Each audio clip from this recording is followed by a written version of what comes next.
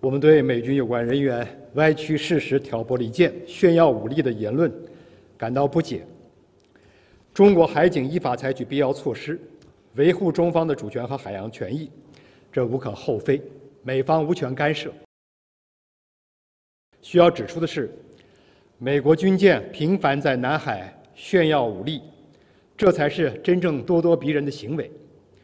中方敦促美方尊重中方在南海的领土主权和海洋权益，切实尊重地区国家为维护南海和平稳定所做的努力，停止一切不利于本地区和平稳定的言行和举动，不要做南海和平稳定的搅局者、破坏者。